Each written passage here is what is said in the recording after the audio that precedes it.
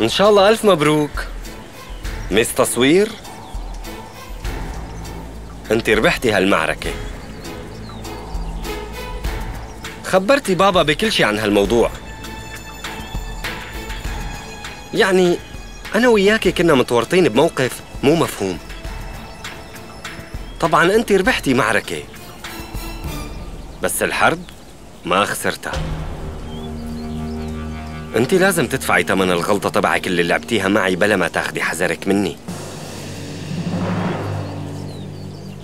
هلا خليكي منتبهة كل ثانية. أنا بعرف إنك اليوم شفتي الود من واحد من إخواتي. وهلا؟ هلا رح تشوفي العداوة من الأخ الثاني. لشو تصوير؟ لشو؟ لشو ورطتي حياتك بمثل هيك ورطة كبيرة وانت مانك قدي؟ لك ليش خليتيني صير عدوك بكل بساطة؟ ليش خبرتي أبي كل شي عن الموضوع؟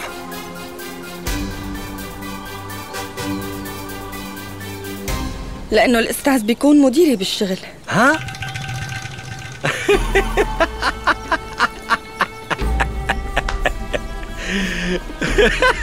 مديري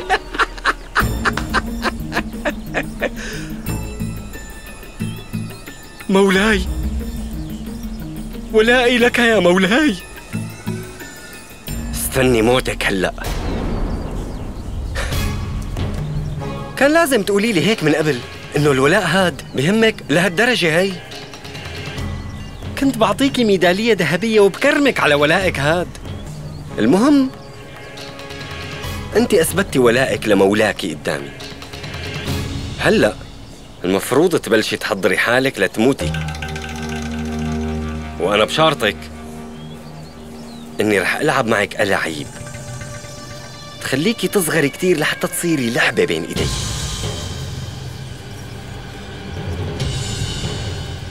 ورح تشوفي.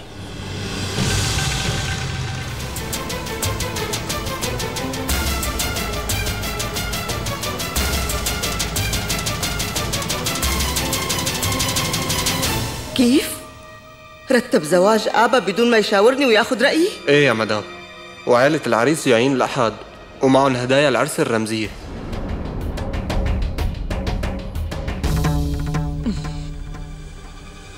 بتجيب معك كيلو حلو كيلو فطاير بالجزر وبدنا مقبلات وشوية فواكه وبدنا خضرة كمان أه، أه، بما إنه عائلة العريس جايين لازم نطلب شو؟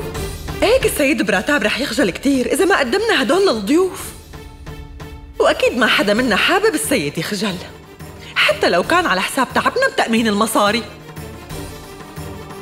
شرف السيد براتاب دائما لازم يكون محفوظ حتى على حساب جوعنا كلياتنا. مرت خالي ها؟ ليش عم تحكي هذا الحكي؟ لا توجهي السؤال إلي. روحي اسألي أبوك المحترم. هو كل يوم عم يعزم عالم. بدون ما يحسب حساب إنه لازم نصرف مصاري حتى نهتم بهدول الضيوف تبع ابوكي شتال بكفي لهون. أنا رح أعطيكي مصاري مرت خالي. بس لا تقولي شي عن أبي. إذا انت كثير محترمة حالك لكن ليش ما بتدفعي هالديون يلي مليان دفتري فيهم؟ وريحيني من الهم اللي على راسي بقى. شتال أنا قلت لك لهون وبس. إني ضل ساكتة ما رح يغير الواقع يا حبيبي. والواقع يلي قدامي إنه هالعالم عايشين عنا وعم ياكلوا ببلاش وما عم بيفكروا بحدا. وهلأ ضيوفكم رح يعيشوا وياكلوا هون ببلاش مثلكم. من هلأ وطالع ما في ضيوف رح تجي على هذا البيت. ولولا ظروفنا الصعبة اللي انحطينا فيها هالفترة يا مرت خالي ما كنا حطينا رجلنا ببيتك آبا أبدا. بس. هيك ما بيجوز. شتال اعتذري من آبا لشوف.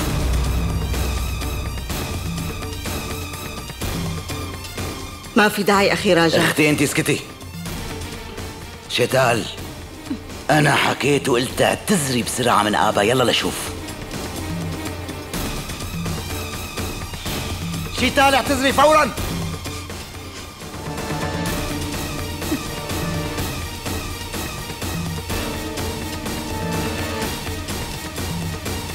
أنا غلطت بحقك آبا.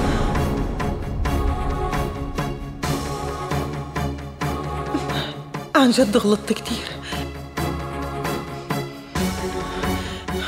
بس لأني سمحت لك تعيشي ببيتي.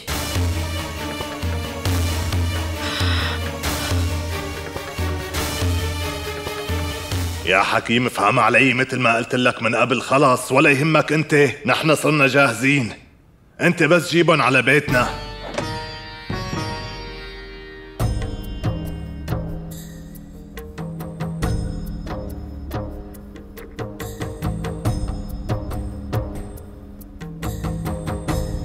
بريج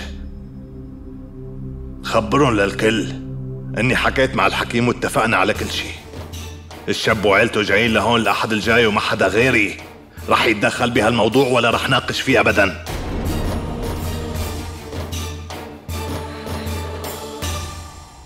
ليك بابا. دائما كنت أسمع كلامك ونفذه. بس اليوم اليوم أنا ما رح أقدر أسكت عليه ولا رح طيع أمرك.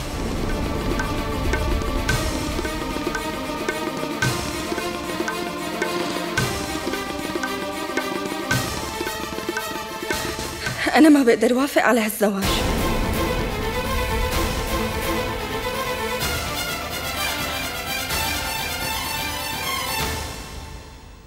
رجاف نعم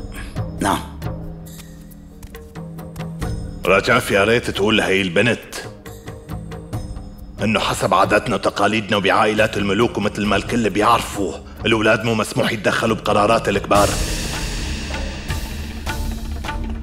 وهلأ عرض الزواج هذا ما بينرفض نهائيا. بس هالزواج كمان ما لازم يصير بابا. لأنه الزواج بيحتاج لكتير شغلات أبي. مو بس إنه نتزوج وخلص بيحتاج بنت أختك شو المطلوب وشو بدها مشان أعرف وما تقول إنه ناقص اي شيء